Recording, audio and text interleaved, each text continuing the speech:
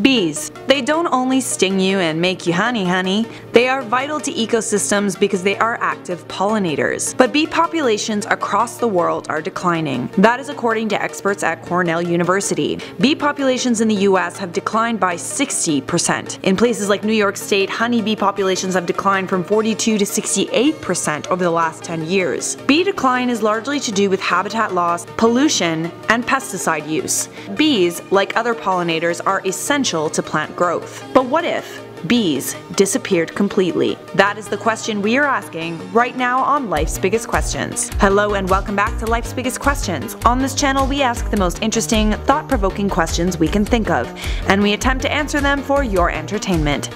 Hit that subscribe for more daily head scratchers and make sure you stick around until the end of the video where we respond to users' comments. There are several reasons why bee populations are declining in huge numbers. Pollution, habitat loss, and pesticides, to name a few. The European Food Safety Agency confirmed that bee populations in Europe are declining because of a type of fertilizer called neonicotinoids. This mixture of substances interferes with the learning circuits in insects' brains, which makes them slower to learn and also makes them completely forget basic associations for their survival, like linking floral aroma and food. The result is bees are dying because they can't feed themselves, which is honestly really sad. According to the good old trusty interwebs, Einstein once said that if bees disappeared off the face of the earth, humans would only have 4 years left to live. Before you go and get all freaked out, you should know that Einstein didn't say that and there's no evidence to suggest that he ever said it. But just because Einstein didn't say those words, that doesn't mean it wouldn't be a terrible thing if bees went extinct. Pollination is extremely important to the survival of all life on earth. Pollination happens through a pollinator, like a bee,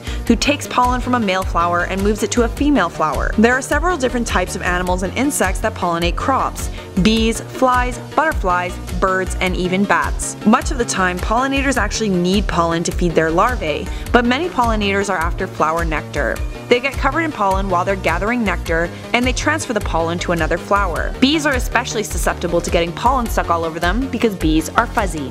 Bees don't only pollinate flowers, they are food for several types of bird species. If bees were to suddenly disappear, those birds would lose their source of food, and the rest of the food chain would feel the effects as well. Honeybees also produce honey, so if honeybees went extinct, honey would become far harder to come by, and would become far more expensive. Man, it's already expensive. It's likely that humans would start having to make synthetic honey to replace natural honey made by bees. The burning question is, could humans survive without bees? Well, the population of Earth, 7 billion people, eat around 100 crop species that provide 90% of the food around the world. 71% of those crops are pollinated by bees. But as I said, bees are not the only pollinators and the majority of human food sources rely on wind pollination. Crops like corn and wheat rely on wind pollination and would likely be unaffected if bees went extinct, which means we would still have products like bread and cereal. That being said, there are many types of produce that rely rely on bee pollination. Peaches, plums, almonds, apples, and cherries rely on bees. I love me a good cherry. According to one analysis of the global crop market,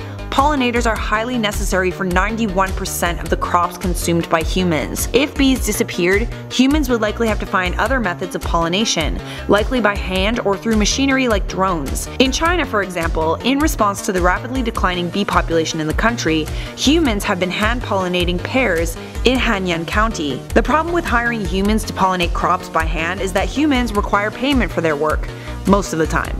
Bee pollination is mostly free. According to graduates of MIT, the cost of humans pollinating about 2 acres of apples would be anywhere between $5,715 to $7,135. In comparison, it only costs about $45 to rent a colony of bees, and you're not paying each bee individually for their pollination. For this reason, food prices for many different crops would skyrocket. Bees do about $11 billion to $15 billion worth of work for American farmers every year. If bees disappeared, the result would be staggering prices at the grocery store. Like I'm talking $16 for an apple, which normally costs 50 cents. In the event that this happens, fresh produce will become near impossible for the working class to purchase, leading to a steady decline in health for the poor. And who knows, maybe even starvation. Poorer individuals already consume far less fresh produce than the middle class. If bees disappeared, we would feel the effects extremely quickly. Within three months of the last bee dying, food producers would experience record low harvests. Within six months, farmers farmers would have to convert their fields to wheat or corn fields. One year after the last bee dies,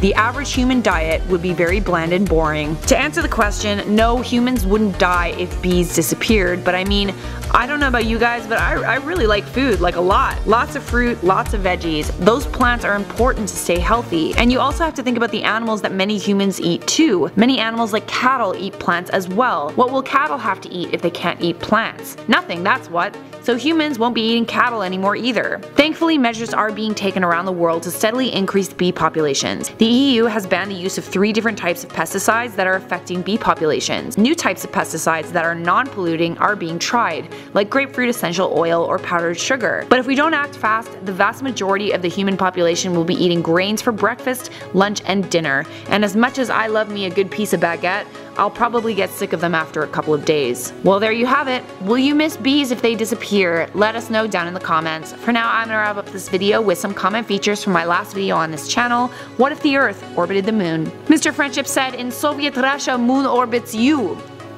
Good one. I love Soviet Russia. Vake said, but if Earth orbited the moon, wouldn't it be opposite day?